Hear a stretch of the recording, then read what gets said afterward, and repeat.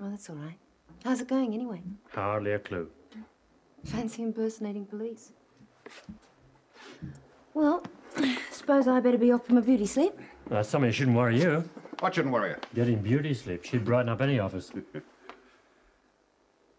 Uh, Scotty, can I borrow Kim for tomorrow? This payroll business? Of course. She looked good in civvies. Oh, as attractive as any girl her age. Yeah, that's what I'm getting at. Just uh, what are you getting at, Sergeant? Oh, nothing to corrupt you, Kim. Tell you about it in the morning. I want you here bright and early, so you'd better get yourself home and get some of that uh, beauty sleep Scotty was just talking about. Oh, and uh, forget the uniform tomorrow. Huh? Good night, then. Good night, Kim. Good night, Helen. Helen? Helen. The Trojans never had it so good. Good night. Well, the traffic lights in here, sir. Yeah, I'm still half asleep. Look, I've been having a look at the station car. You know, a good metal worker could knock one up no trouble. Yeah, it's what they must have done. All police cars in all areas have been accounted for. Yeah, but the radio's a different matter. Uh, thieves have used our frequency before. Now, Azoli didn't actually see it, so it may have just been a receiver. Yeah, well, do you want us to check the motor game, garages and panel beaters and so on? Yeah, it's a good starting point for them. Oh, Scotty, could you get your boys to check out all the garages and panel beaters in the area?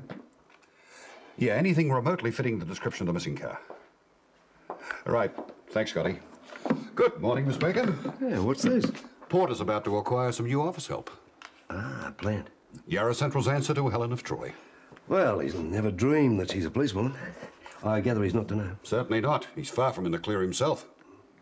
Well, what if he doesn't employ you? Oh, references. Good enough to get her a job at Government House. My references for the police force. now, remember, you're not to get involved, Kim. Just observe the results of the pressure that Frank and Nick are going to apply.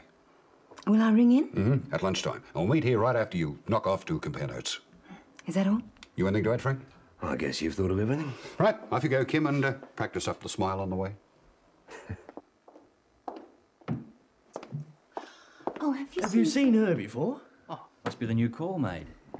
The hired help's getting more glamorous all the time. I hear it's the fingerprinting. You don't say. Yeah.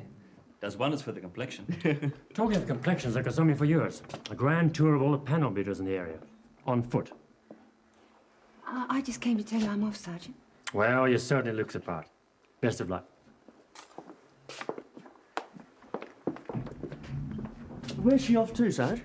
Where she'll be safe from you two for a couple of days.